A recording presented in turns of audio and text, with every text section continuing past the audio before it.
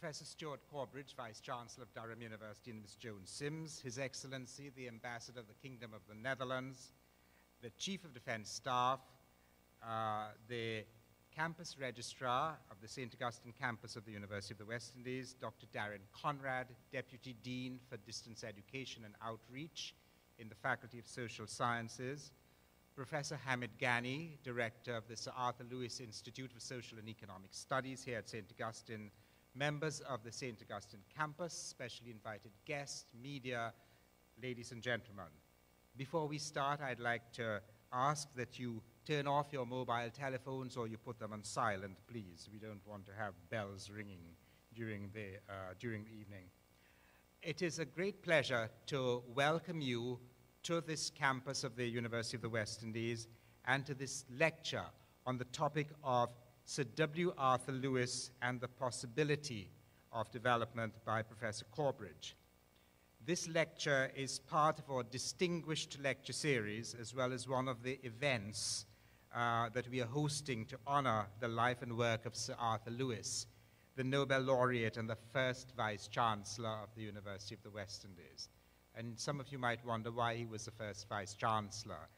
Until he became the head, the academic head of this institution, the title that was used for the head was Principal. Sir Arthur was the first to use the title of Vice Chancellor.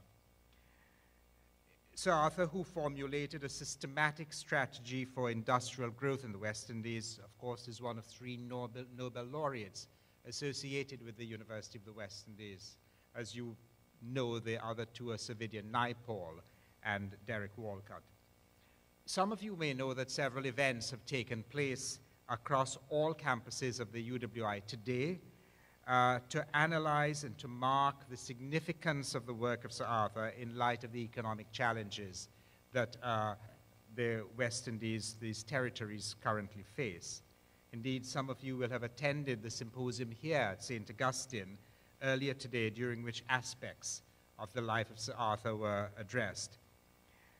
These events, too, uh, the celebration of the life of Sir Arthur, also form part of the 70th anniversary celebrations of the University of the West Indies and highlight our continuing support for and commitment to the development of the West Indies.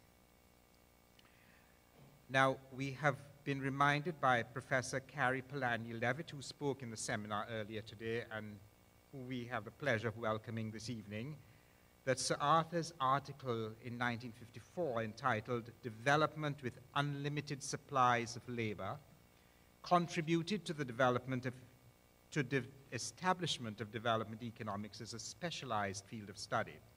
Since it dealt with the mechanism of transferring surplus labor from traditional activity to a modern capitalist sector under conditions of unlimited supplies of labor. The citation for Sir Arthur's Nobel Prize in Economic Sciences emphasized, I quote, his pioneering research into economic development with particular consideration of the problems of developing countries, specifically for the development of economic models which define the causes of poverty among the populations of developing countries, as well as the factors determining the unsatisfactory pace of development. Now, many of you will know that Sir Arthur had a varied career. He studied at the London School of Economics and Political Sciences. He taught at Manchester University. He served as economic advisor to the Prime Minister of Ghana.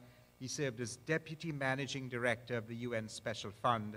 He served as vice chancellor of the University of the West Indies. And from 1970 to 1974, he oversaw the establishment of the Caribbean Development, Development Bank, among many other things. While these varied experiences augmented his understanding of the issues and processes of development, his experiences as the Vice Chancellor of the University of the West Indies actually sharpened that understanding.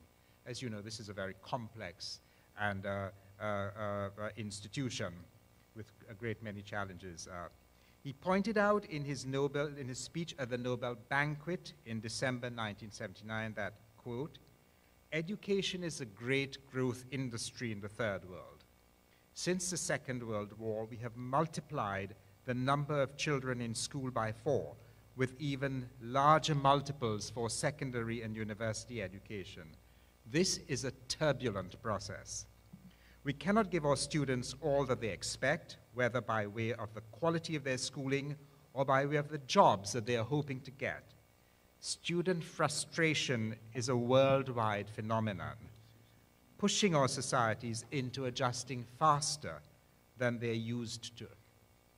Now, that frustration is something of which we are very much aware in our institutions of higher education and to which we are obliged to create urgently the appropriate responses as we prepare the people of our contributing countries, our 18 contributing countries in the Commonwealth Caribbean, especially our graduates, to react to the imperatives of adjustment. Now, ladies and gentlemen, I've spoken quite a bit, and I'd now like to invite Dr. Daren Conrad, the Deputy Dean for Distance Education and Outreach in the Faculty of Social Sciences, to address you. Dr. Conrad.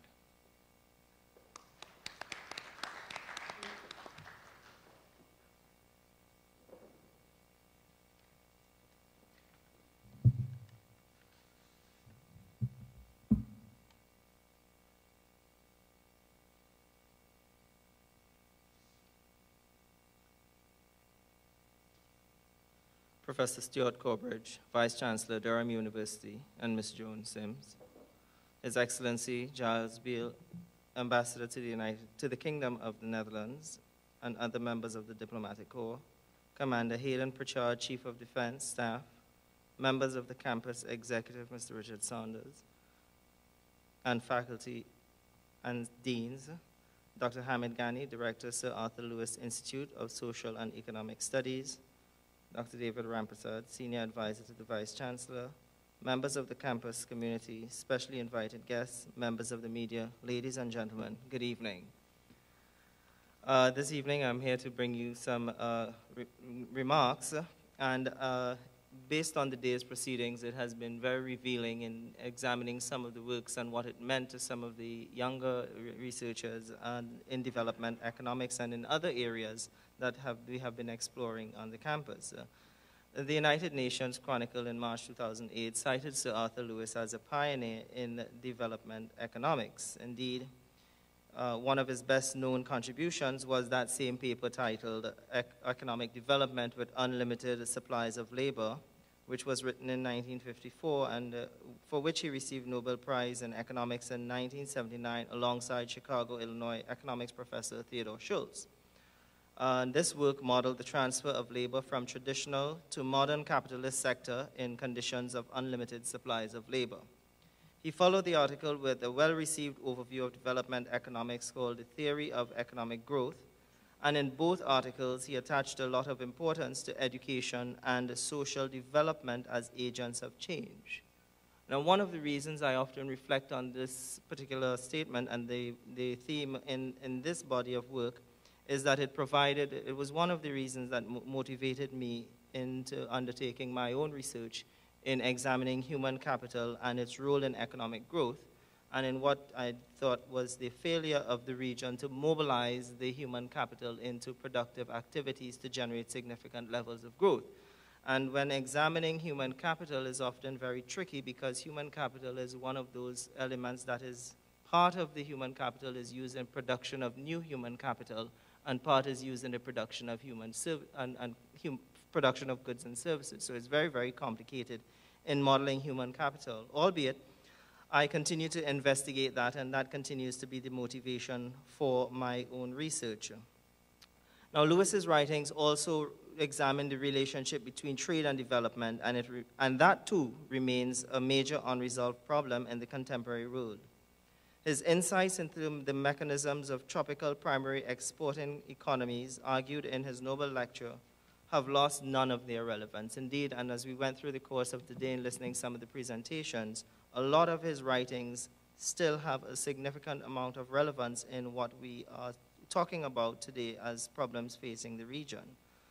More importantly, Sir Arthur Lewis's work is more variegated and it spans a wider conspectus from sociology to political science, and indeed, he was a pioneer, a great thinker, and a revered social scientist. As I reflect on his writings and continue to reflect on Sir Arthur Lewis's writings, I am reminded of the importance of letting both casual and careful observation of societal issues form the basis for our own scientific investigation, while allowing the fundamental tenets of theoretical constructs to guide our thoughts in the creation of new frameworks to address our challenges.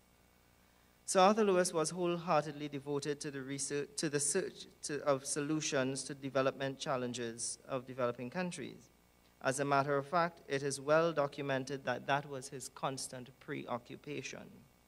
And so I think that it is important for us to continue to work on addressing the challenges and the spirit of Sir Arthur Lewis to do so in an interdisciplinary fashion.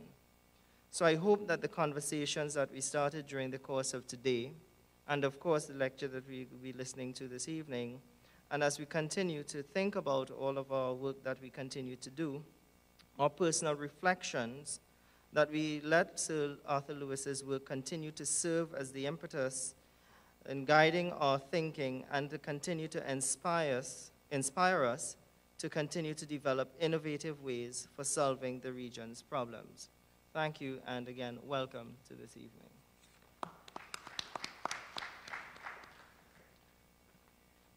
Thank you very much, Dr. Conrad.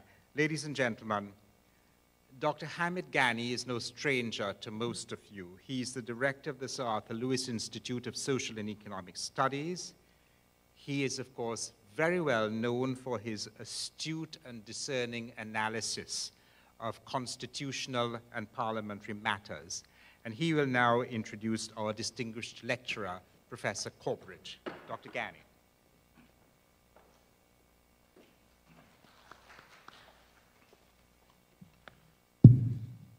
Thank you very much, uh, David. Professor Stuart Corbridge, Vice Chancellor, Durham University, and Ms. Joan Sims, members of the Diplomatic Corps and Ambassador for the Kingdom of the Netherlands, the campus executive management team, and I recognize uh, our campus registrar, Mr. Richard Saunders, here this evening, the Chief of Defense Staff, Commodore Hayden Pritchard, Dr. David Rampersad, Senior Advisor to the Vice Chancellor of the University of the West Indies and the Chair of this evening's proceedings, members of the campus community, specially invited guests, members of the media, ladies and gentlemen. It is indeed a pleasure for me uh, to be called upon to introduce Professor Corbridge for this lecture this evening. And I want to start by saying that uh, Professor Corbridge joined Durham University in 2015 from the London School of Economics and Political Science, where he served as Deputy Director and Provost. In 1978, he graduated with a BA Honours degree in Geography from Sidney Sussex College, and he continued at Cambridge for his PhD, which was focused on the politics of ethno-regionalism in Jharkhand, India, and has carried out field-based academic work in eastern India ever since. Alongside this, he has also worked extensively in that region for the UK's Department for International Development, including on public service delivery issues, joint forest management, participation, and empowerment. His major publication with Glyn Williams, Manoj Srivastava, and Rene Veron in 2005 remains Seeing the State, Governance and Governmentality in India. He has held posts at Huddersfield Polytechnic, Royal Holloway College, Bedford New College at University of London, and the Maxwell School of Public Affairs at Syracuse University in New York. In 1988, Professor Corbridge was appointed to a lectureship in South Asian geography at Cambridge University and was elected to a fellowship at Sidney Sussex College. He remained at Cambridge for the next 11 years before taking up a post of professor of international studies at the University of Miami in Florida in the United States, and later a chair in geography at the London School of Economics and Political Science. He became the head of the Department of International Development in 2007, and from 2010 served as pro-director for research and external relations. In 2013, Corbridge was appointed as the first Deputy Director and Provost of the London School of Economics and Political Science, and has led work to develop LSE's core undergraduate course, LSE 100. And more generally, he led work to improve systems of academic recruitment, mentoring, review, and reward. In 2017, Professor Corbridge was appointed to the Board of Directors of the Association of Commonwealth Universities. In 2015, while at the LSE, Professor Corbridge was very instrumental in creating the W. Arthur Lewis Chair in Development Economics. Ladies and gentlemen, I have great pleasure in giving you Professor Stuart Corbridge.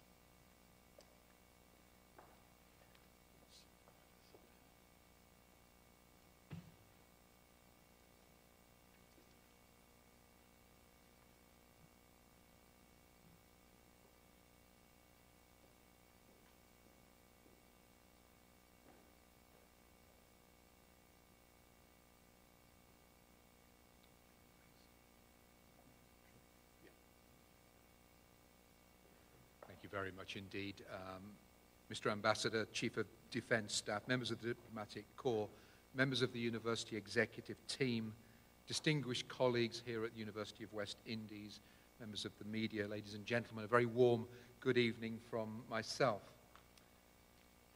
I'm extremely grateful to Dr. Ghany and the Sir Arthur Lewis Institute for Social and Economic Studies at the University of West Indies for hosting me today and for giving me the honor of presenting the 2018 Sir Arthur Lewis Distinguished Lecture on would have been Sir Arthur's 103rd birthday.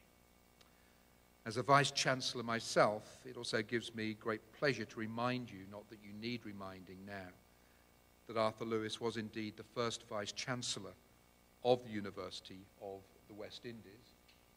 And if you've seen any photographs of Sir Arthur, you will know that he was always impeccably dressed. Um, thanks to British Airways, unfortunately, I'm not quite as impeccably dressed, uh, having uh, some problems with my baggage, but I'm extremely grateful to the principal, Principal Copeland, for lending me a rather nice blazer for tonight's talk. I, I, I will give it back at the end. So I've been familiar with Sir Arthur's work since undergraduate days in the 1970s. And I still consider his book from 1955, which we heard about before, The Theory of Economic Growth, to be one of the most lucid and informative accounts of economic growth and development ever written. And there's not a single equation in that book.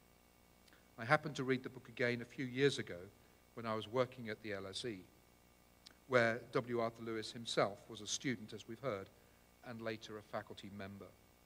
And I've read it again with pleasure just after Christmas for this talk.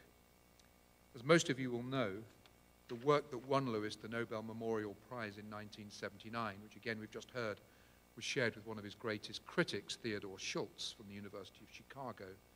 That was mainly written at Manchester University in the 1950s. Some years before Arthur Lewis received his knighthood in 1963, which of course you will know was the same year that he left the University of West Indies for what became his final academic posts at Princeton University. Arthur Lewis was the first and to date the only academic of African and Caribbean heritage to win the Nobel Prize in economics. My interest in Sir Arthur, though, and my respect for his work and legacy is not confined to his famous works from 1954 and 1955, although I will mainly refer to those two works tonight. We had a wonderful seminar this morning showing the multifaceted nature of Sir Arthur's legacy and contributions. I believe that Lewis's work and life also have something profound to tell us about what I will call the possibility of development in the post-1945 world system. So to anticipate, I will make two main arguments this evening. First, agreeing with the previous speaker, that Arthur Lewis is indeed the true father of what is today called development economics. His work in the 1950s provided the first and the most complete theory of economic growth for what were then still referred to as backward countries, or what we would today call the developing world. Second, I'm going to argue that Lewis's encounters with racism, both before and after the World War II, placed him squarely in the center of a much less discussed fight for people of color to be considered fully human, which is a phrase that comes from W.E.B. Du Bois, who I'll come on to later, and the authors of their own fortunes. This was a status determinedly not given to many people of color in the decades of social Darwinism that spanned either side of 1900.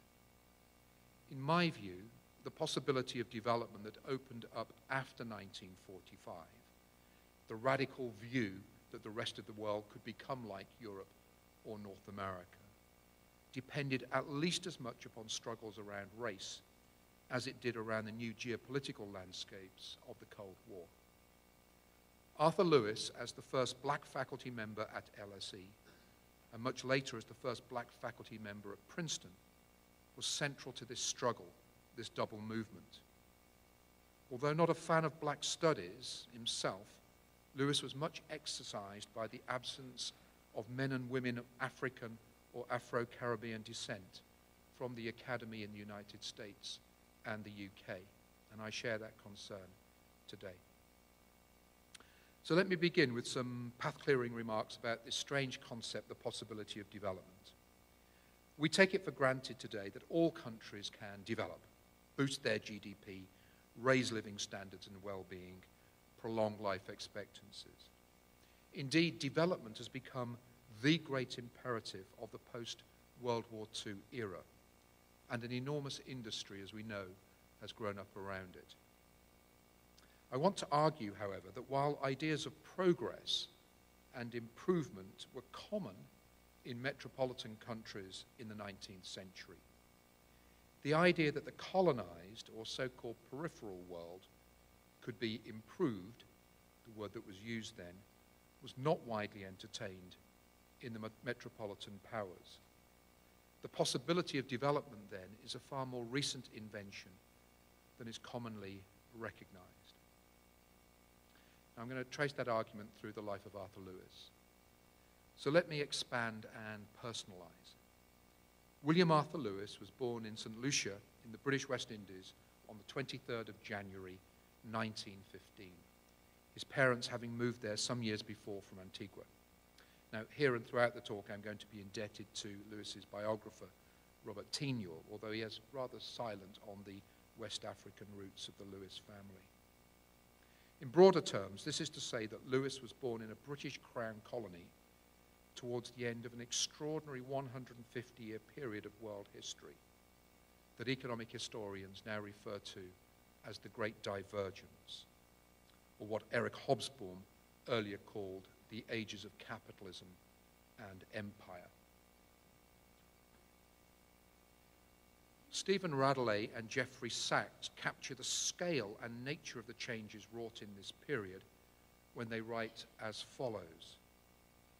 With but 14% of the world's population in 1820, Western Europe and four colonial offshoots of Great Britain, Australia, Canada, New Zealand, and the United States, had already achieved around 25% of world income. By 1950, their income share had soared to around 56%, while their population hovered around 17%. Asia, with 66% of the world's population, had a meager 19% of world income, compared with 58% which it had in 1820.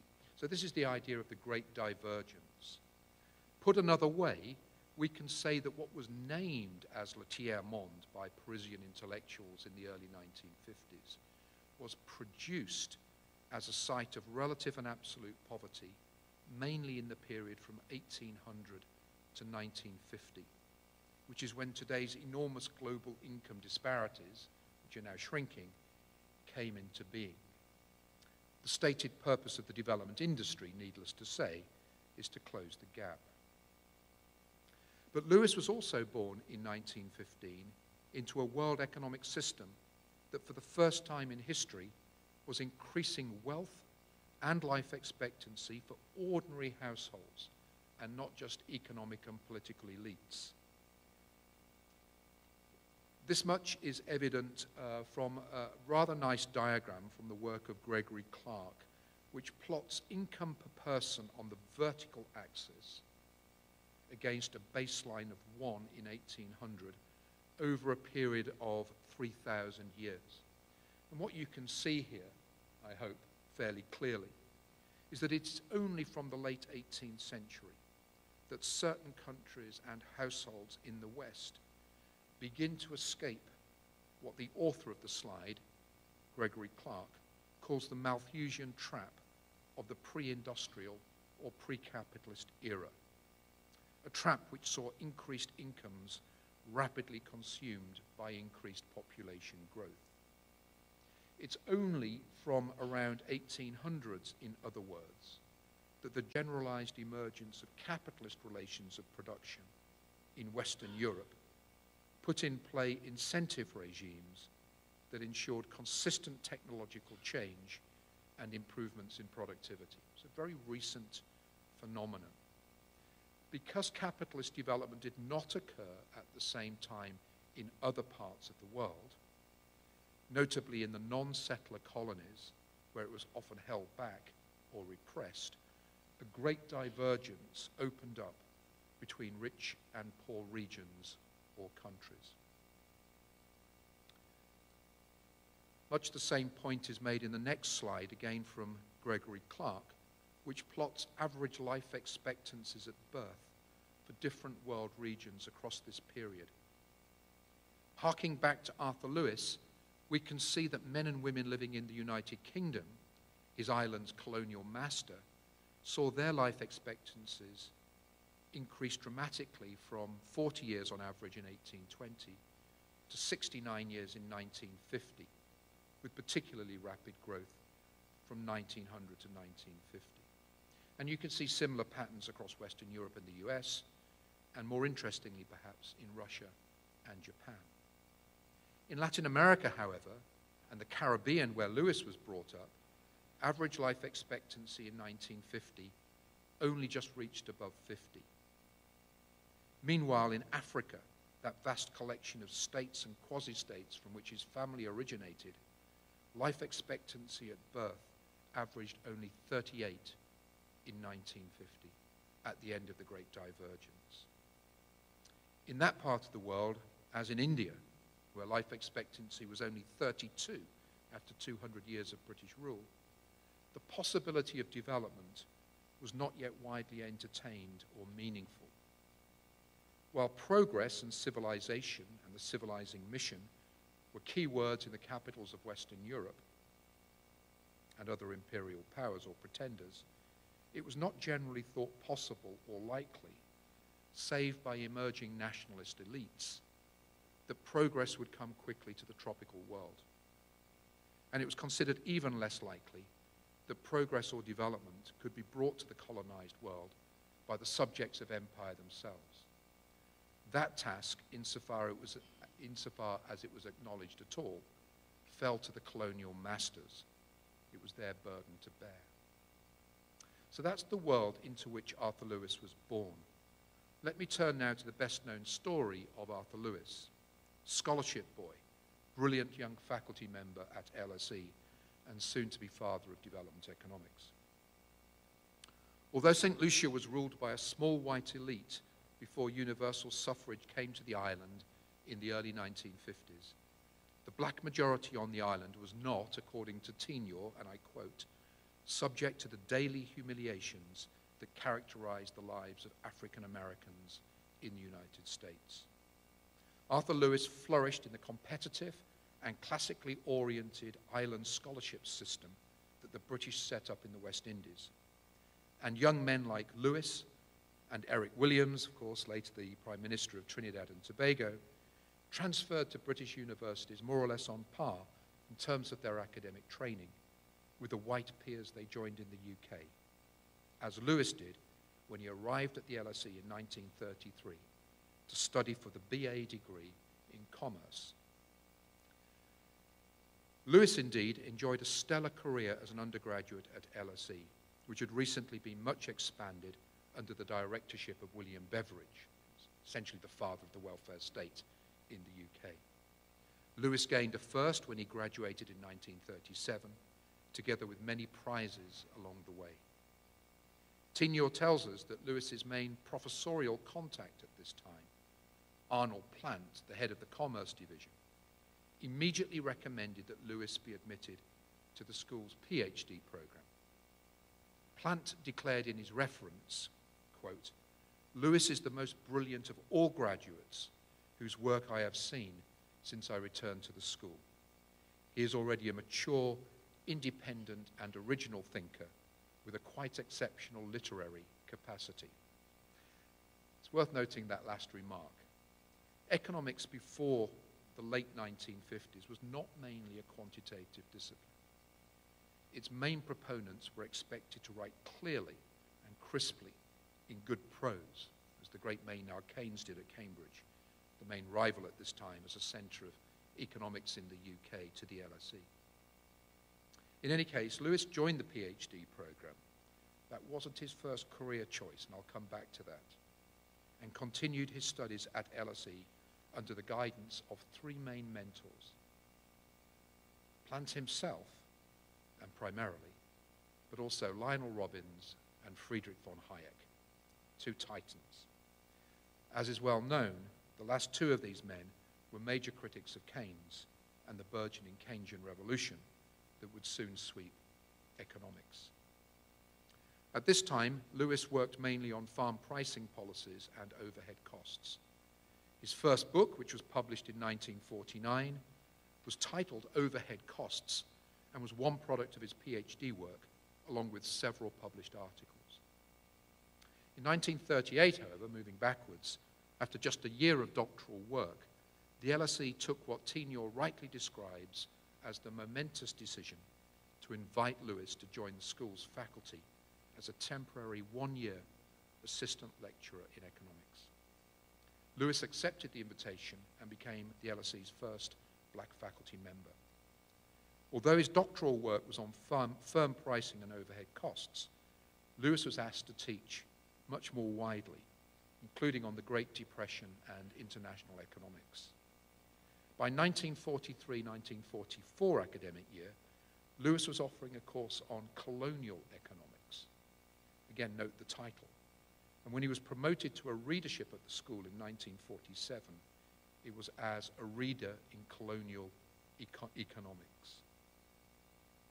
As Tignor notes, Lewis's course at LSE on colonial economics was unusual for LSE and for most top UK universities. And I quote, courses dealing with the rest of the world, particularly the colonial world, were taught then in history or anthropology departments. Economists concerned themselves with trade, money, banking, and the like, and to some degree with the economic history of the UK and Europe. Lewis, though, enjoyed the company of men like T.S. Ashton and Bronislaw Malinowski at LSE, respectively an economic historian and a very famous anthropologist, and learned as much from them as from Robbins and Hayek. Indeed, it was his conversations with non-economists, as much as his growing familiarity with the work of Keynes and his circle, that took Lewis away from the free market economics of some of his most esteemed LSE colleagues. By the time that Lewis took up the Stanley Jevons Chair in Political Economy at Manchester in 1947, he'd worked, as we heard before, as a, as a consultant for the Four Nation Caribbean Commission. He'd also published a short book in 1944 entitled An Economic Plan for Jamaica. Unlike Hayek, Lewis did not think that economic planning was an anathema or the first step on the road to serfdom.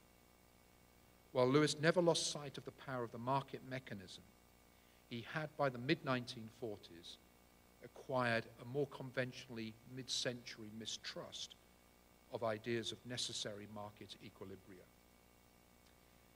He was also firmly of the view that poorer countries could not progress or develop as the world, as the word soon became, without active efforts to promote industrial capitalist growth.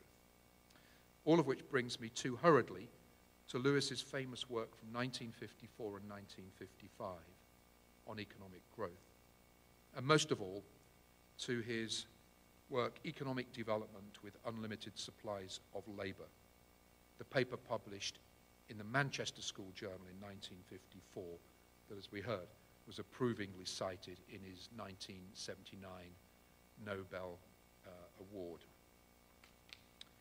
Before quickly running through this model and the gist of the 1955 book-length treatment of the theory of economic growth which Lewis wrote alongside it, it's necessary to say a word or two about development economics at that time.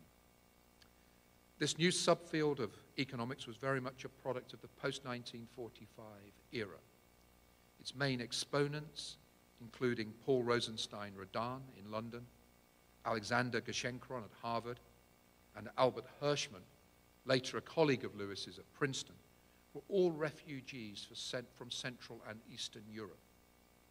And they mainly developed their broad treatises on development or late industrialization with reference to economic problems in that part of the world.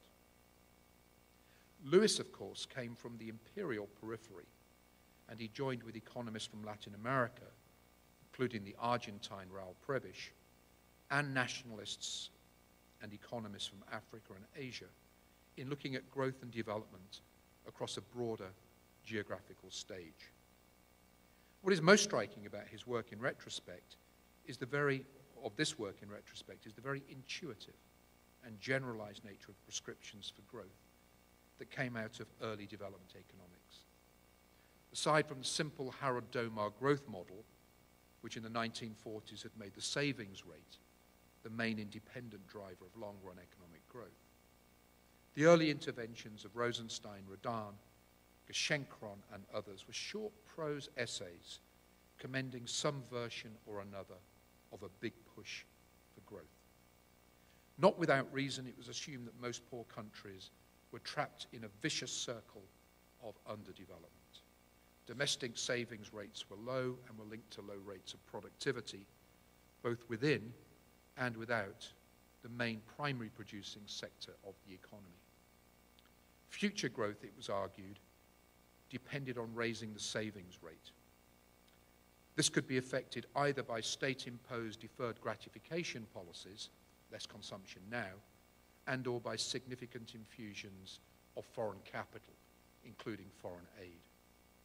It was further argued that the state, or a local planning commission as in India, should take control of a developing country's scarce savings and its equally scarce foreign exchange reserves and funnel them into capital goods-based projects in the area of infrastructural and industrial development.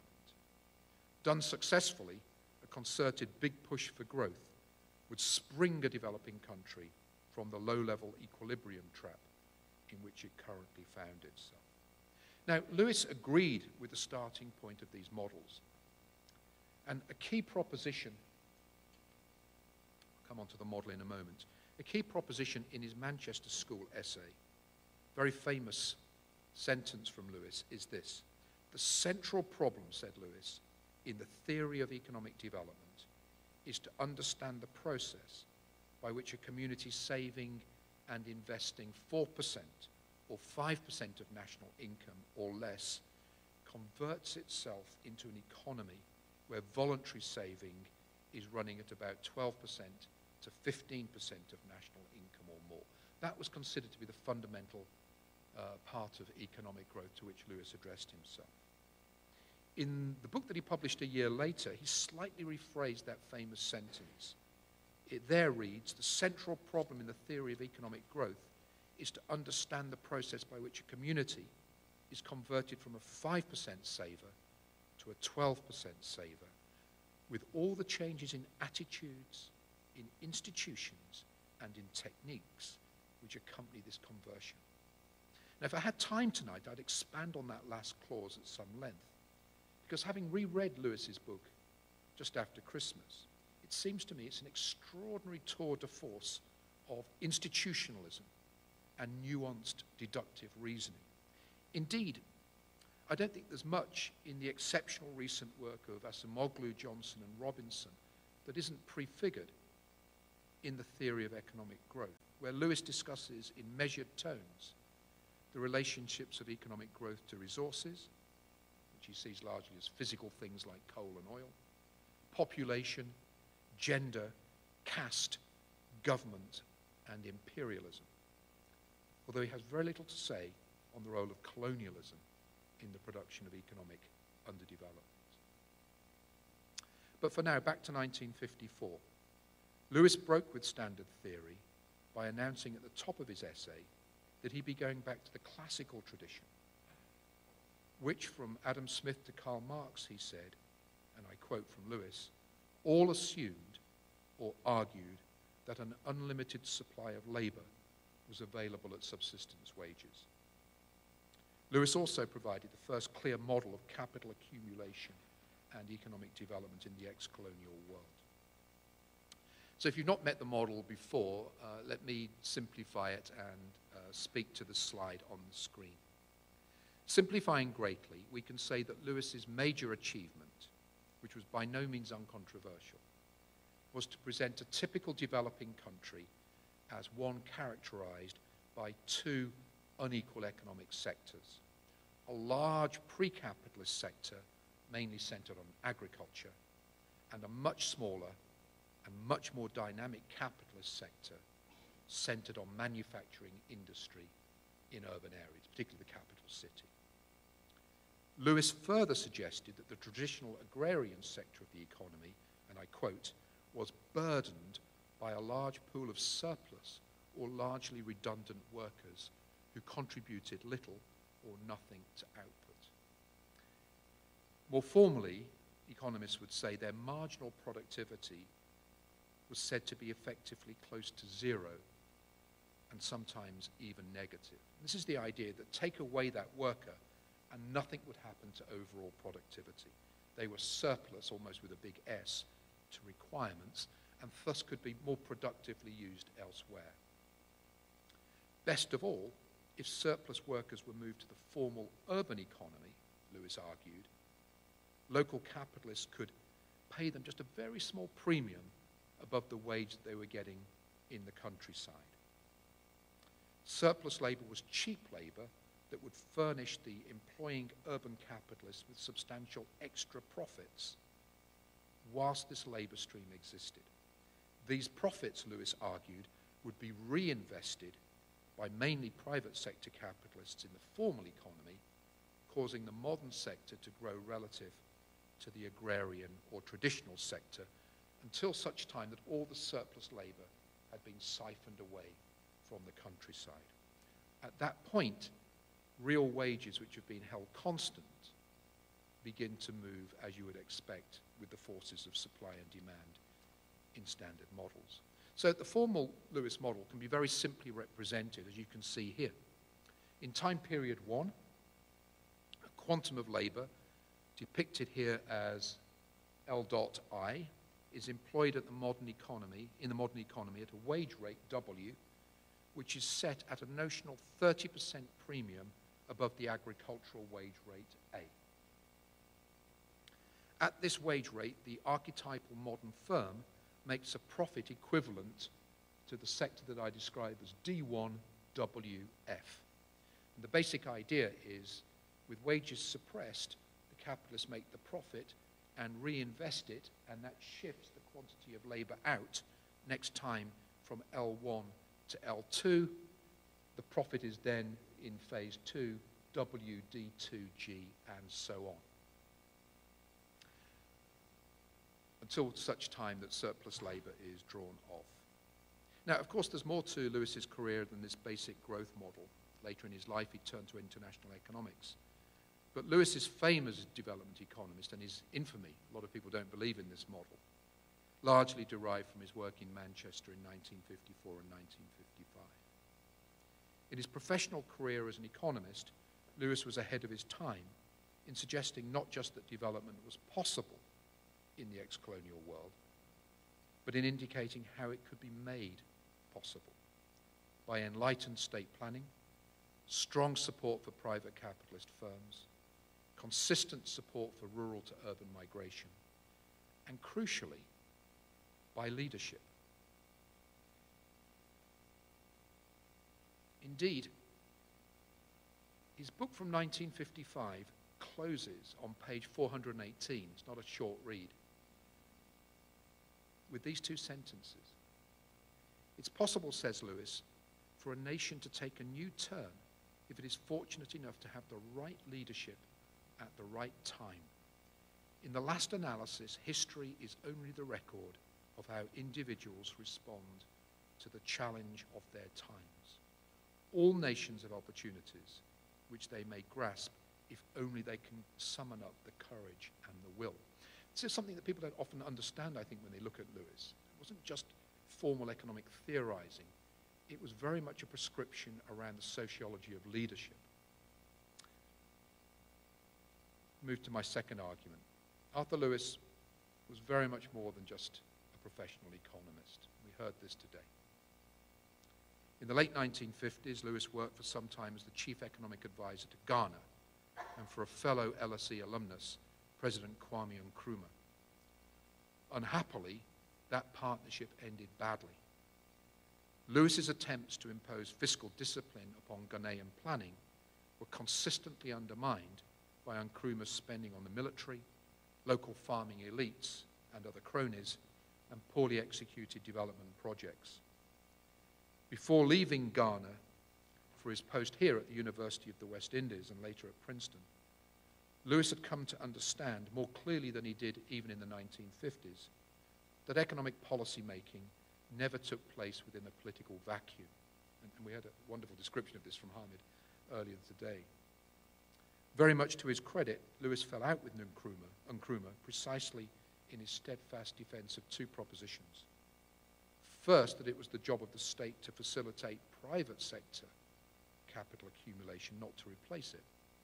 And second, that sustainable economic growth would take decades to build up and could not simply be wished into existence overnight by politicians determined to take off into self-sustaining growth before a proper institutional framework had been put in place.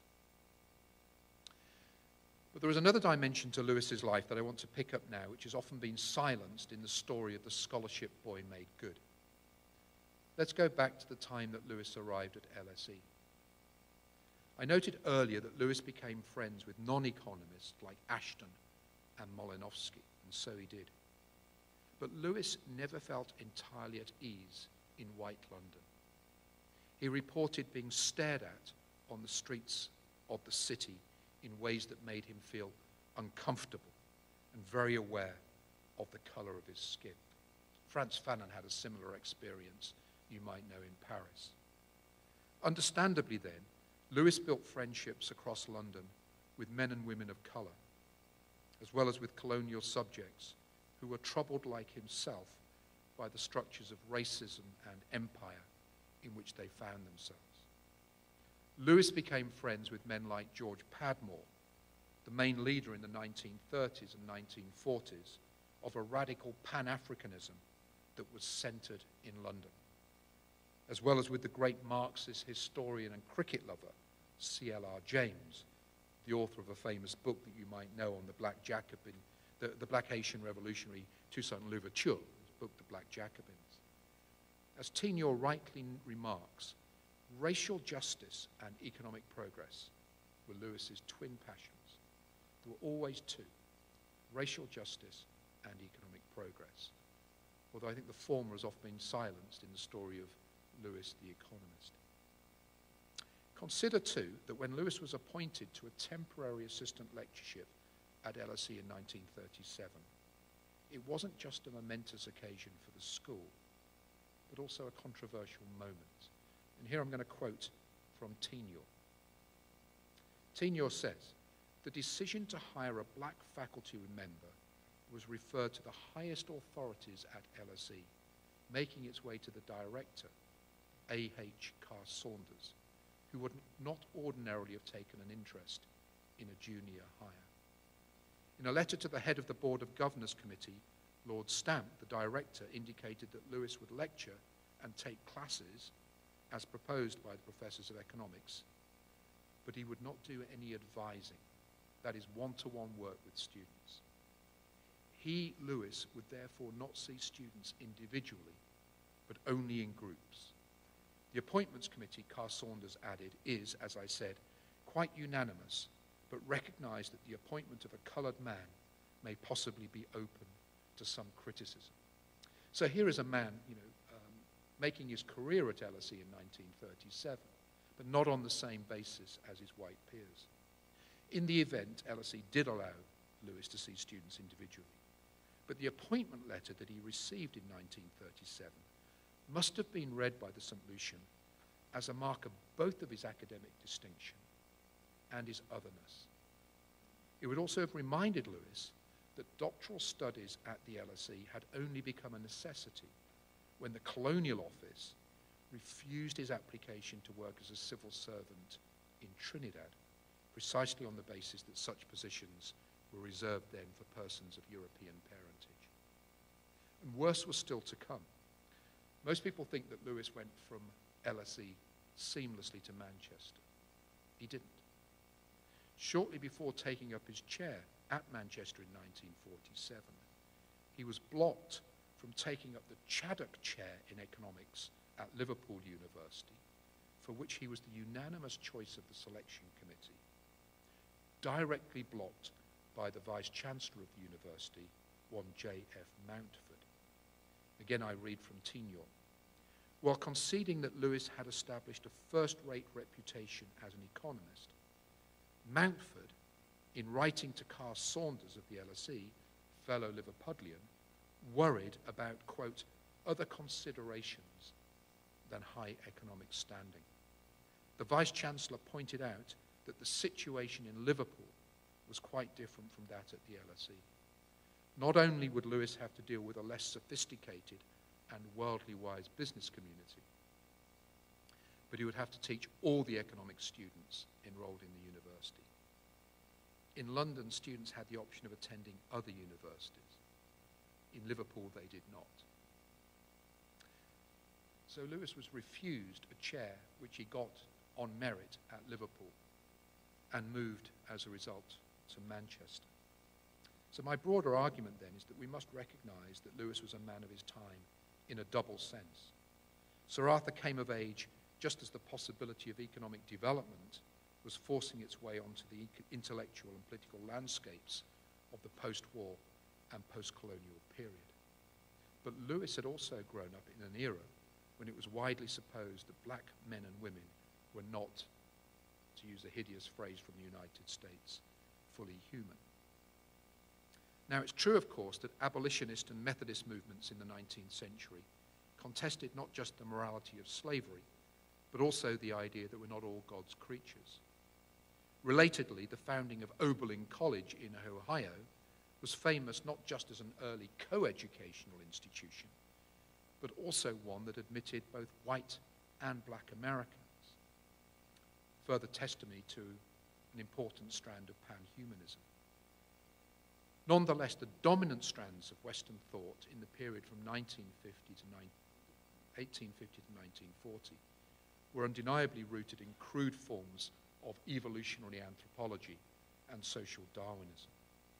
As the economic gap opened up between the colonizer and the colonized in the period of the Great Divergence, the more obvious did it seem to many Western observers that some countries and peoples were blessed and deserving, while others were not.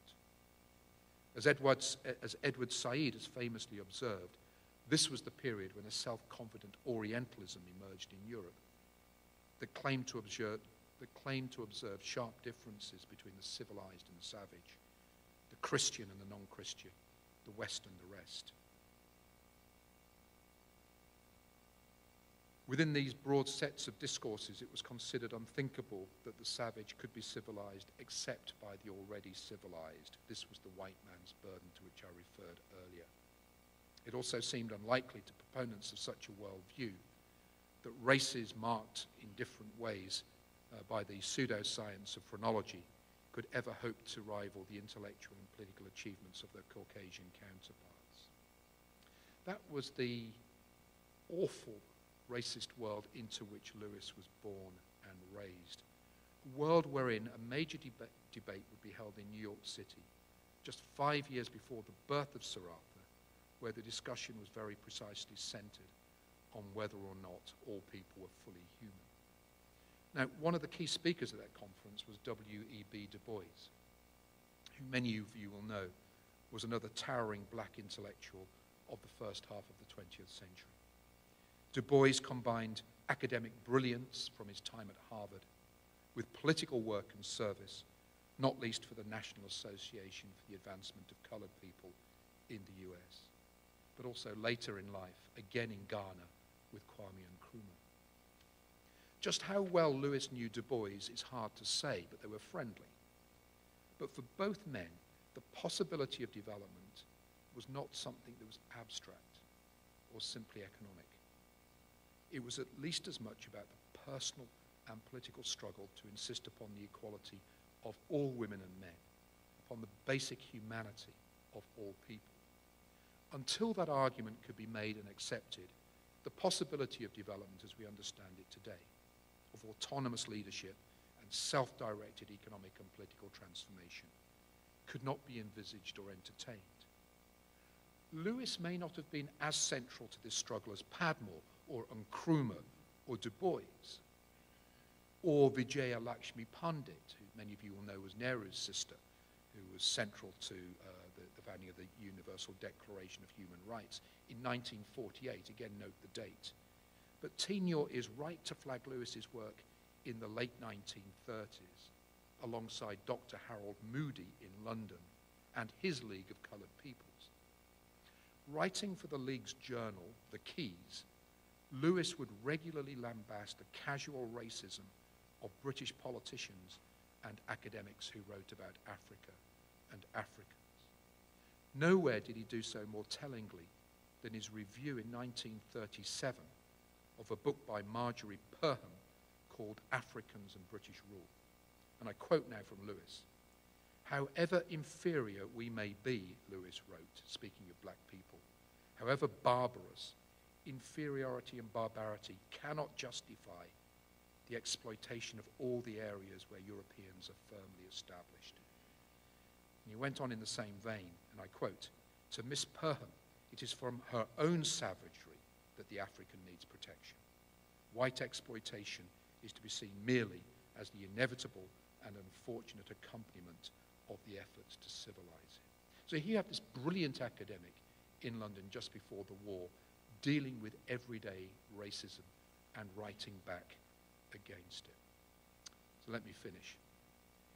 It's to be hoped that we've moved on a long way from these times. But we all know it's an incomplete project. If we have moved on, it's largely because of concerted academic and political work to challenge the so-called scientific racism that accompanied the Great Divergence. This is the point that I most want to underline in relation to Arthur Lewis and the possibility of development. In one very specific sense, the Colombian anthropologist Arturo Escobar is right to maintain that the modern era of development begins on the 20th of January 1949, very specific date, with President Truman's speech announcing the Point Four aid program. The delivery and receipt of foreign aid defines the first world and the third world, with the second world in between. But in a far more profound sense, it seems to me, what we call the third world was created and racialized in the 150 years before 1949, a point that has been made by numerous academics, including Mike Davis. The possibility of development in the sense that we now understand and embrace it, something that is meant to be non-colonial and self-directed, could only be contemplated, I will argue, in the wake of the slow burning and still not completed struggle to insist upon the equal humanity of all ethnic and racial groups. Arthur Lewis was caught up in this struggle and contributed to it very significantly. Lewis did so, though, mainly by the personal, mainly by the personal example of his own achievements. but he also did it through his so-called non-economic writings, which have been unhelpfully neglected, and by his participation in the anti-colonial and anti-racist networks that he joined in London and beyond. For all this, and to conclude, Lewis was not a fan of the black studies or African American studies agendas that forced themselves to the fore at Princeton and other US universities in the 1960s. Whilst he was intensely aware that he joined Princeton in 1963 as its first black faculty member, 1963, Lewis maintained that the most effective way to contest racial discrimination, the existence of which he never doubted, was by reasoned argument and individual black achievement. He was much less wedded to affirmative action programs and far less to academic enterprise that seemed to him to be based around identity or standpoint politics rather than disciplinary rigor. By the time that Lewis died in June 1991, all leading US colleges had made progress, some more than others, in recruiting black faculty members to their ranks. Lewis generally supported this, save for when it bolstered subject areas of which he disapproved. There is certainly no reason to think that he disapproved of programs to support black students with doctoral or postdoctoral fellowships. Nor is it likely that he would have challenged such hiring initiatives as we see today in most Ivy League schools, wherein central university funds are committed to departments that recruit and successfully mentor outstanding black or other minority faculty members. In the UK, I'm sad to say, there's much less progress to report. Arthur Lewis joined the LSE in 1937 as its first and only then black faculty member. Today, there are less than a handful, literally, of self-reporting black, here I define that as of African or Afro-Caribbean descent academics at the LSE. And when I left, only one full professor. Partly to address this situation, and mindful of the importance of cooperating with neighbouring University College London, where the provost, Professor Michael Arthur, sponsored a public event, Why Isn't My Professor Black? LSE set up a black faculty initiative in 2014-15 to see how best the LSE and other leading academic institutions could empower black women and men to join the academy. Not surprisingly, the initiative encountered many of the issues and concerns that struck Arthur Lewis during the course of his career. It's possible within the law in the UK to advertise academic posts that might get larger fields for people from particular backgrounds. But that route might take a university down a road that Lewis warned against, which is not to say that it's always mistaken. The next, the next iteration of the initiative will aim to see more empirically where the blockages are and where best an institution like LSE might invest as it will need to, as I trust Durham will want to, to increase the pool of black academics in the UK. Perhaps it's the provision of targeted PhD scholarships. We shall see. Perhaps the real blockage is from school to university, or from local university to a research university, at the point of entry to a doctoral program. Whatever, the hope and expectation must be that the situation in five or ten years' time must be significantly better than it is today. Arthur Lewis was a pioneering development economist and a lifelong champion of racial justice. He would be saddened, I think, to learn that there are less than 100 black professors working in the, U the UK Academy today out of a total professoriate of more than 18,000. We should aspire to do better. We should aspire to have more Arthur Lewises.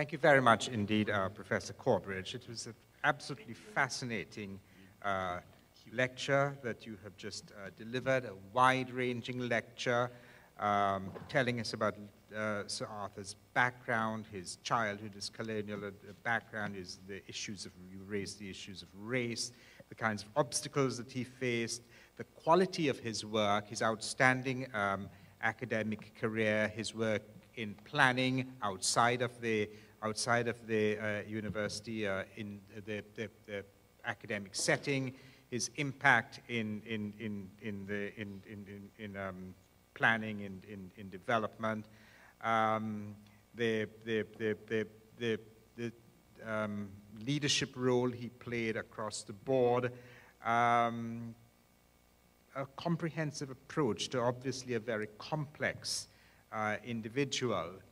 Um, and it was curious that you talked about the work he did in the 1940s on colonial economics, which was the time when the British government had introduced the colonial development and welfare legislation. The first was in 1929, of course, at the time of the crash, so there was little money to, um, to sort of fund um, development here in the West Indies.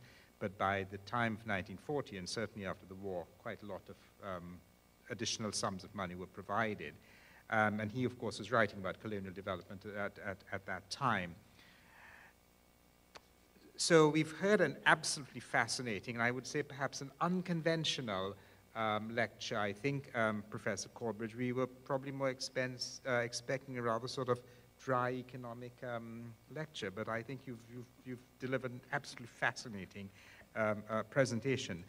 Now, ladies and gentlemen, the floor is open for questions. I am sure that you have a great many questions uh, for our distinguished, distinguished lecturer. There are ushers in the aisles with microphones. They will bring them to you when you have raised, uh, when you raise your hands. Now, when you get the microphone and I point out to you, and you wish to ask a question, can you identify yourself, and I'd like to ask you to keep your questions focused and to the point. So, the floor is open, ladies and gentlemen. The first question. Do we have one? We have one here in the fourth row. Please, can you bring the microphone to this lady?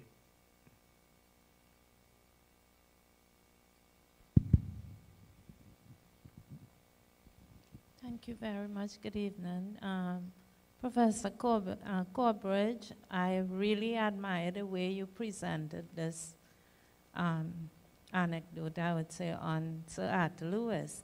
And what is, what is telling now in the 21st century is that his themes that he put forward in the economic um, development could be used now, but how many of us are moving away from the things like race and, um, you know, color, creed, and so, and thinking about how sustainable we, we can become to safeguard the humans on this earth today.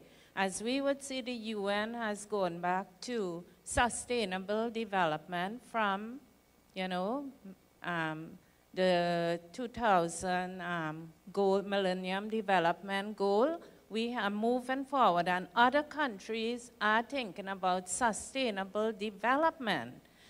And we need um, thinkers like you to write more or bring forward to the public. And as you say, the, um, the more the black people need to go and educate to a level and set ourselves free from this blackness that we carry about because time is running out on, on development and provision of the food, the shelter, and clothing. If you think about the Malthusian theory, we need to fix things. And I am putting it to you as the professor to move us forward. And can you point out some uh, what, what the gaps are now in the 21st century. Thank you. Are there any other questions before Professor Corbridge answers that one? Do we have a second question? Not just yet. Professor Corbridge, if you can answer that one, and meanwhile, I'm sure our audience will be thinking about other things to challenge you on. Professor Corbridge. Thank you, David. Well, I, there are a number of challenges, I think, in that question. Um, I mean, for me, what's most interesting is, is, is the premise of the question, which is about the continued relevance of Lewis's work today. And I actually found it very interesting to reread the theory of economic growth um, between Christmas and New Year. So there are certain things I think that have not stood the test of time terribly well. The, the, the actual core model of surplus labor, I think empirically, um, is one that most economists wouldn't necessarily support now. And I think also his view of resources, um, that resources are fundamentally things out there in the ground and are likely to deplete, is at odds with a more modern account that the ultimate resource is between our ears. That, you know, it's Plato's, uh, Plato's old aphorism about necessity being the mother of invention. So some things are probably not worn too well. However, more generally, I, I found the book quite remarkable rereading it because what it does fundamentally in very nuanced ways, in very clear, crisp prose, is simply to ask the reader to think, well, what is holding back a latecomer country or a developing country? And he takes you through a series of possibilities. So in some cases, it could be distortions in labor markets like caste, for example, or gender. But fundamentally, it does tend to come back to savings. And I think in many ways, um, modern economic growth ha has come back to that idea. Uh, not necessarily a concerted big push for growth in the way that it was understood in the 1940s and 1950s, but there needs to be a balanced menu of interventions by well-founded government, supportive of private capitalist development, and fundamentally using savings wisely. Um, in many ways, I think those are fairly elementary propositions, but there were more clear in Lewis's work earlier on, I think, than any other development economist. So I think in that sense that the vast majority of his book, when you reread it, uh, what are we now, you know, 63 years later, um, it seems to me to have stood the test of time remarkably well. Are there other questions? Uh, at the back, we've got one at the top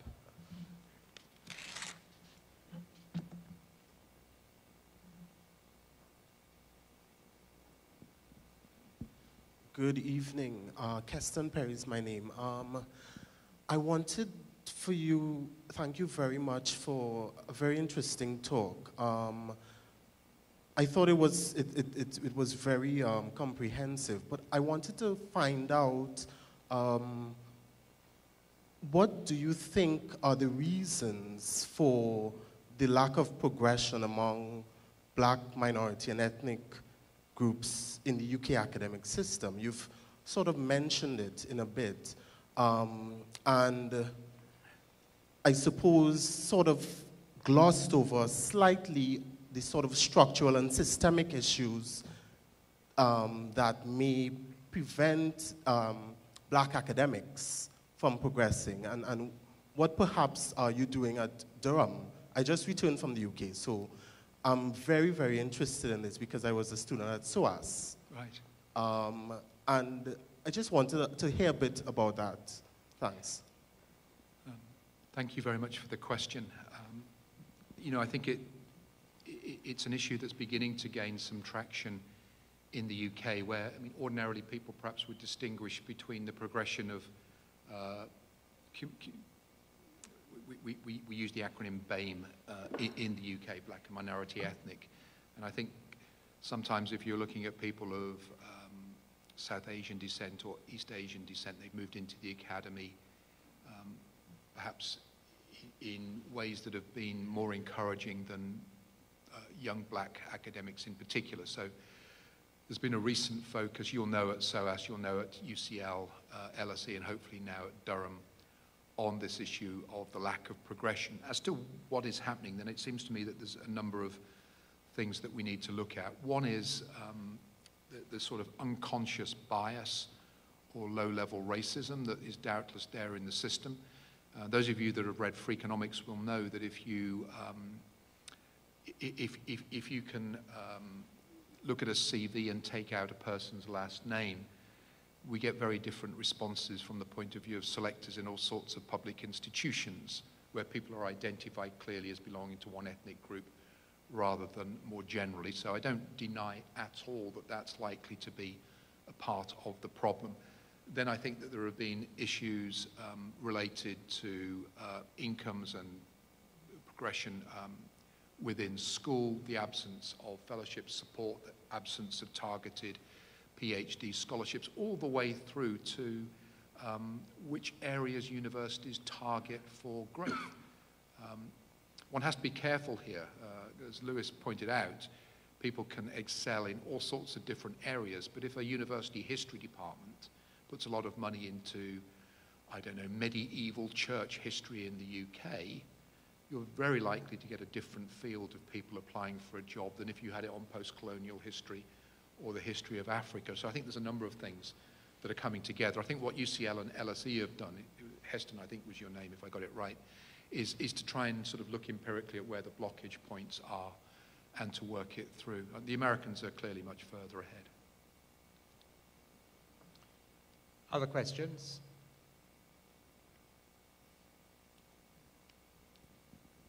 One at the back. Sorry, I don't have um, a question, but really a, a commendation. I want to say thank you, thank you very much, very, very much for this broad um, academic um, presentation. And what you, I think what you've done, you've brought Arthur Lewis to life.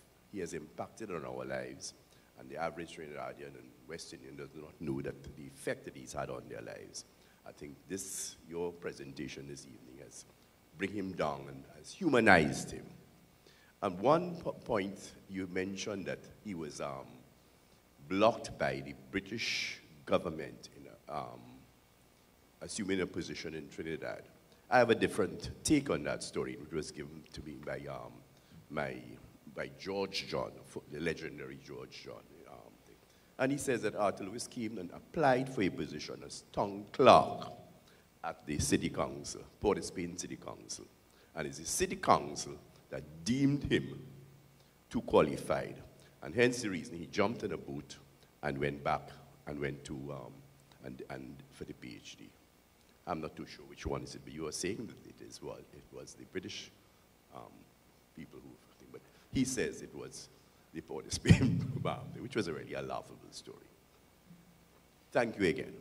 Thank, thank you very much for sharing that insight. Um, it's obviously, we had a number of different stories today at the seminar this morning about different accounts of his life. So there's a lot more work clearly to be done. And, you know, I make no secret of the fact that I'm largely dependent on his biographer for some parts of the talk.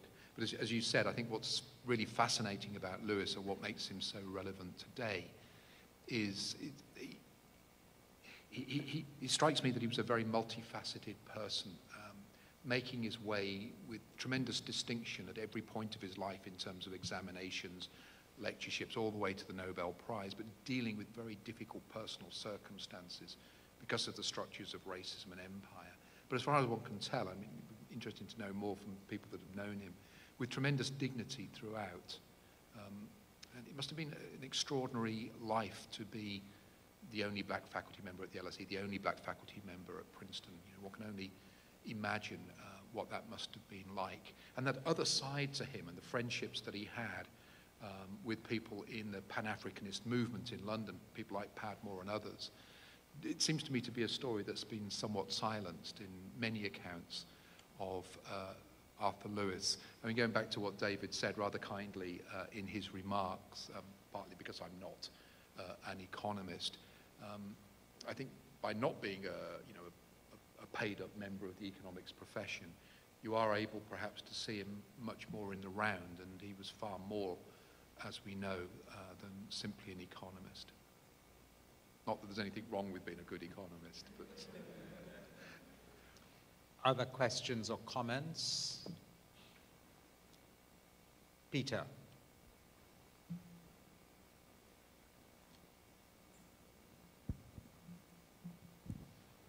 Um, I hope you don't mind if I, if I sit. Um, uh, Anthony Gonzalez. Um, with respect to the relevance of Arthur Lewis, um, as a student of development economics in the 60s, my impression always was that uh, Lewis's work was confined largely to certain countries that had a surplus labor, countries that had a subsistence sector, and a small emerging manufacturing sector. These would be India, Egypt, and so on. Yeah. And when you moved out of that set, um, it was very difficult to apply the original, his original work. he had given some advice to this region uh, as to how to go about industrializing. And um, he had many critics in this part of the world. Uh, some of them pretty, pretty vigorous in terms of how they felt his work was a, a kind of even metropolitan kind of imposition or idea as to how we should develop. They felt he ignored a lot of things like culture, um, the, the history of the, of the region, and, and stuff like that. So at the time, at that time, I would say there was a, a question mark over his relevance.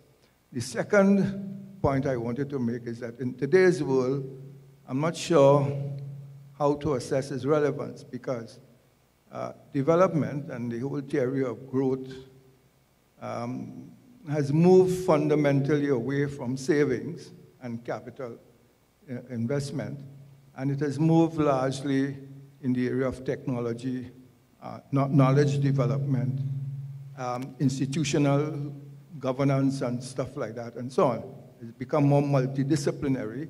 And maybe the point you raised about Lewis 1 and Lewis 2, but Lewis moved into the question of institution savings plus institution. I think he himself probably began to gain that insight later on. But now, today, um, I'm not sure to what extent the original work um, remains fundamentally relevant to where the field has emerged in terms of the prescriptions we get today now for development in this part of the world. Thank you. Again, many thanks for sharing those thoughts, which uh, uh you know I very much uh, agree with we, we actually had a fascinating session this morning. I'm not sure if you were there. Is, is it Peter? Um, on some of the other contributions that Arthur Lewis made, I mean, particularly Hamid here to my right was talking about him as being acknowledged by Lijphart as the fundamental father, inventor of consociationalism. So the, the, the achievements of the man, I think, are widely recognized and are more, more plural than I'd uh, understood uh, even before today. I think I, I, I do agree with you um, that things have moved on, obviously, from that obsession with savings and capital accumulation in the 1950s. Rereading, though, Lewis, it, it strikes me that he was very much an institutionalist, um, as most people were probably before the, uh, 1980s and 1990s, when there seems to be a movement away from that in the direction of the Washington Consensus.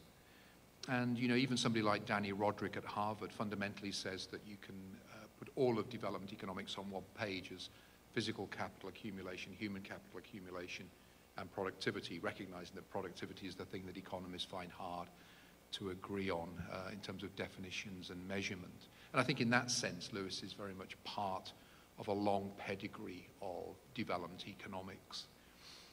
And I mean, I, I do feel that if you, when you, when you reread his work on things like caste in particular, or local farming systems, of which there's a lot in the theory of economic growth, you do get that strong sense of the importance of asymmetries of power, um, poorly functioning institutions, and the need for leadership to move people away from both. So I think he's both, um, he's clearly a man of his time, um, the, the, 1950s in particular, but I, I do feel that he's more contemporary than some of the people that he worked with at that time.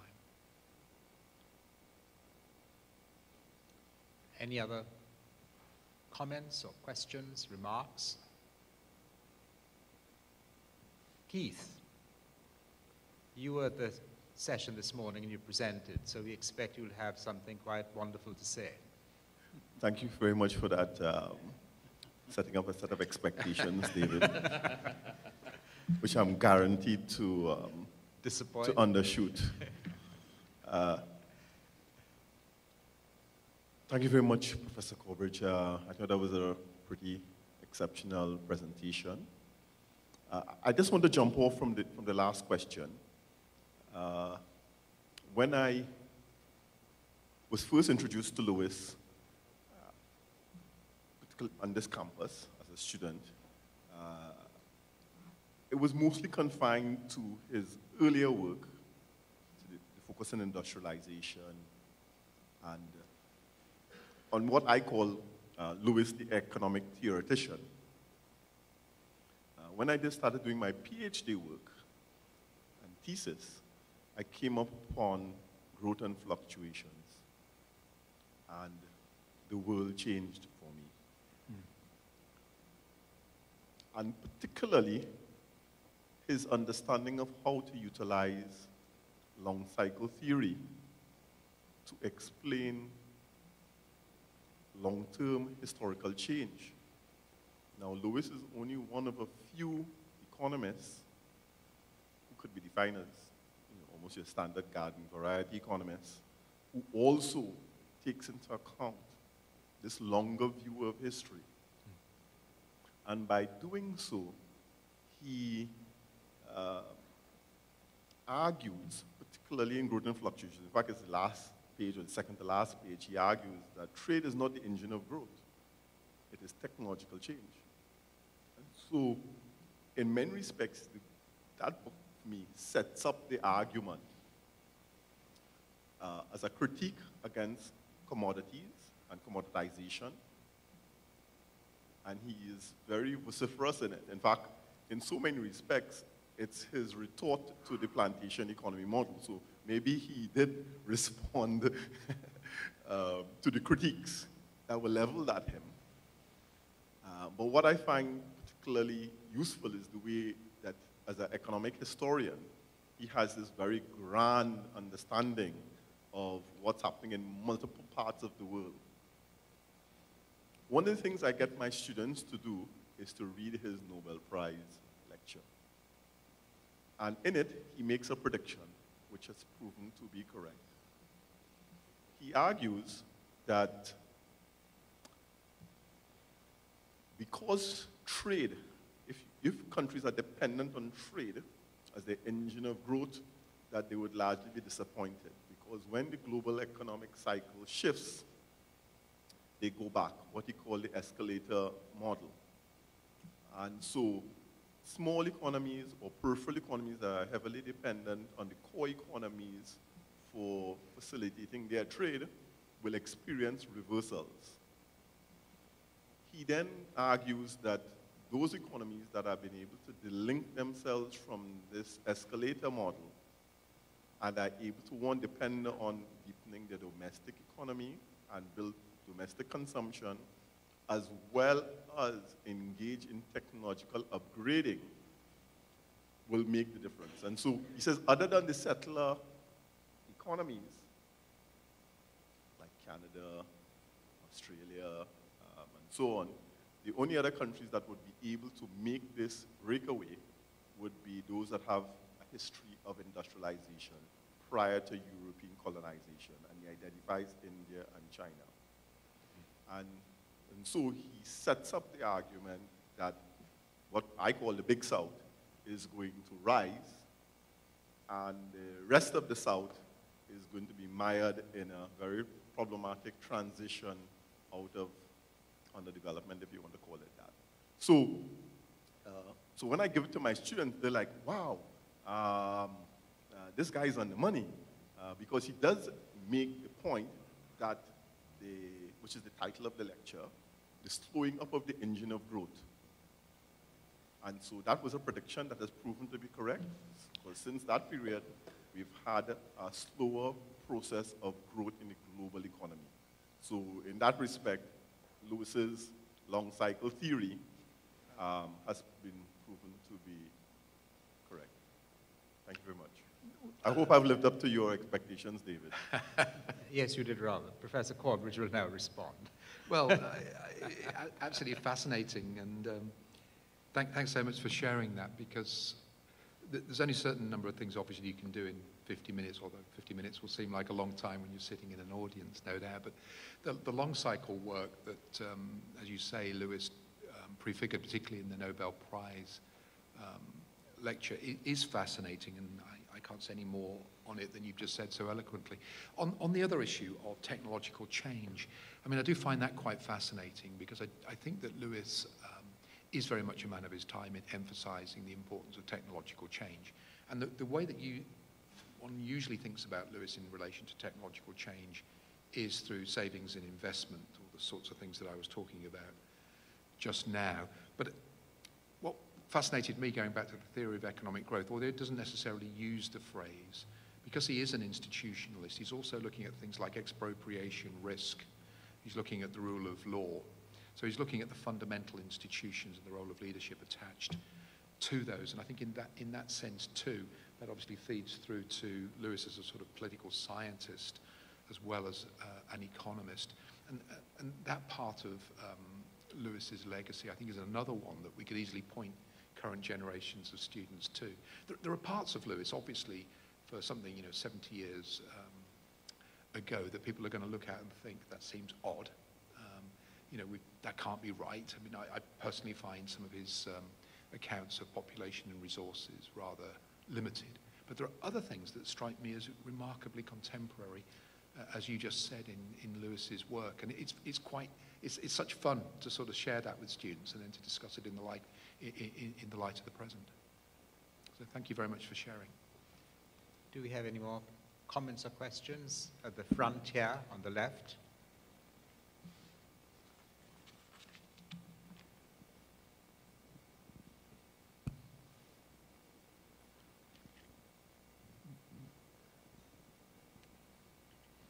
Good night, Liana Ganga. In your presentation, you mentioned what can the UK do better for inclusion. But I think targeted scholarships on their own are not going to solve our problems. Education must seriously consider and advocate for reparations, which is a way for Britain to acknowledge their crimes against humanity. Failing this, we are trying to build on quicksand. Also, I'd like to ask, what do you think about the arguments that argued that question the usefulness of Lewis's theory unless people can recapture self-respect and determination and can engage others from that position, or else his theory tends to serve the, colonialists, the, the colonials and not our interests. Again, it's a very um, wide set of engagements that you're proposing there. So um, if I understood it correctly, um, in, in, terms of some of the practical things that can be done in terms of advancement within the academy, targeted scholarships would just be would just be one. I, I entirely, though, accept the point that it, it's much more about the decolonization of knowledge. And it's, it's, as you say, it's about respect for another person's point of view. I don't think that necessarily has to be um, a form of standpoint politics, though, because I do, I do strongly believe that there, there, are certain arguments that have greater weight than others. And I mean, that would have been Lewis's point of view as well, I think. So I think, you know, there's, there's a number of areas there that one has to work through quite carefully.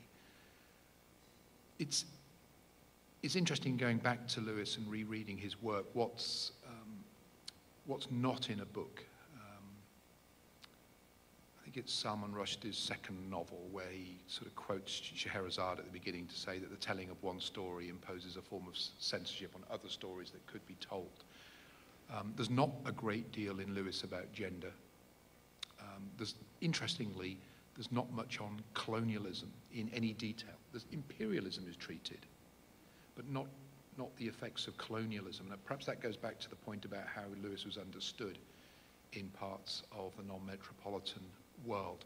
So I mean, it seems to me that you, you, you, can again go back to Lewis to read what is in there and what is not in there in the, in the light of contemporary concerns as well. Thank you.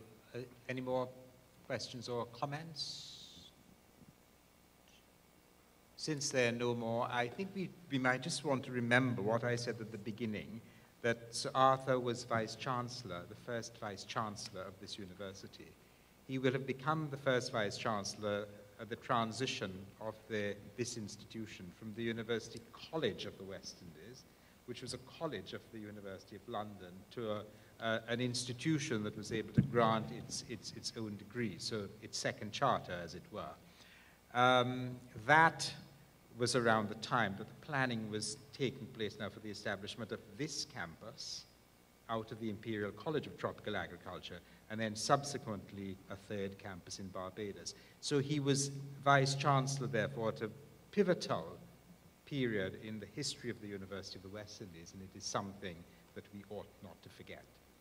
Now, ladies and gentlemen, we have come to uh, the part of the uh, evening which is always enjoyable for us and in keeping with our custom of the U U University of the West Indies, I will now ask uh, Dr. Ghany to present our uh, distinguished lecturer who's uh, uh, made a, presented a fascinated, uh, fascinating lecture with a token of appreciation for the hard work he has done here today. Dr. Ghany, Professor Corbridge, will you please come stand up?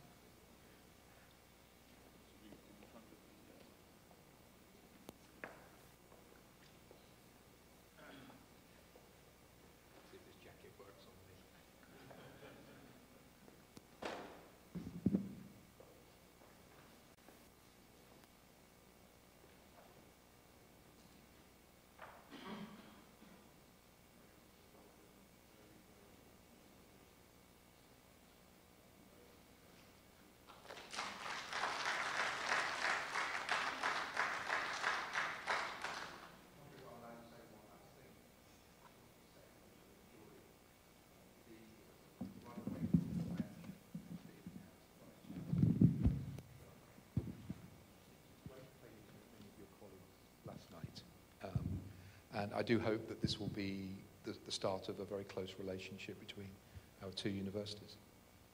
I certainly look forward to that. Thank you very much. Dr. Ghany, please remain in front of the uh, of this banner. Um, we have another presentation. Dr. Ghany.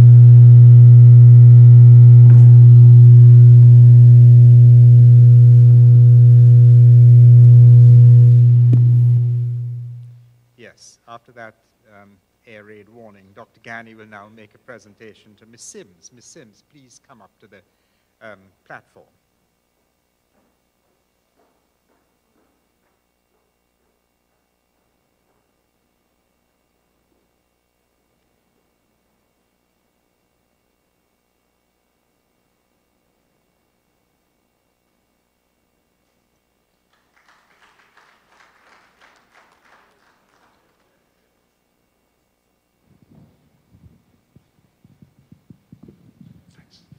Ladies and gentlemen, Dr. Ghany will now uh, make uh, closing remarks uh, to signal the end of this uh, evening's proceedings. Dr. Ghany. Thank you very much, uh, David. And ladies and gentlemen, uh, we've been treated to a very, very profound lecture that was most enjoyable, I thought. Could you join me in giving Professor Corbridge another round of applause?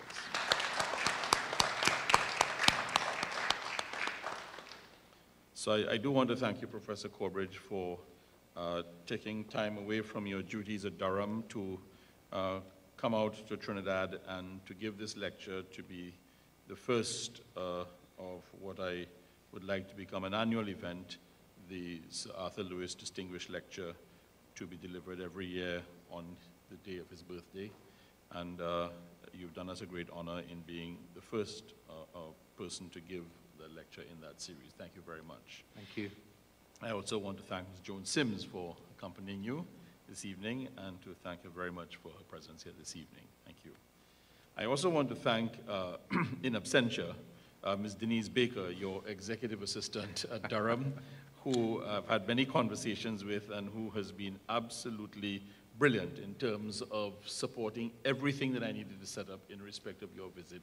Please do convey my best wishes to her and my uh, deep gratitude for all of her efforts. I will do. Thanks very much Thank for you. saying that. It's very kind.